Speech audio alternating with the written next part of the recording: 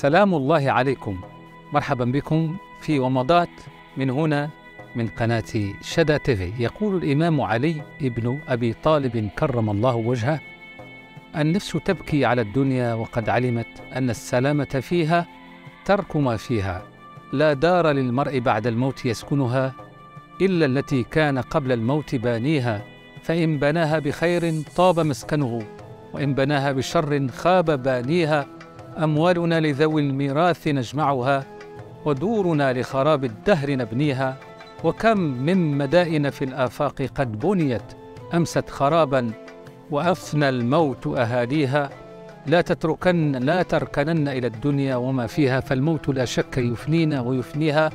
لكل نفس وإن كانت على وجل من المنية آمال تقويها.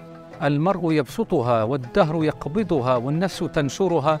والموت يطويها إن المكارم أخلاق مطهرة الدين أولها والعقل ثانيها والعلم ثالثها والحلم رابعها والجود خامسها والفضل باقيها والنفس تعلم أني لا أصادقها ولست أرشد إلا حين أعصيها.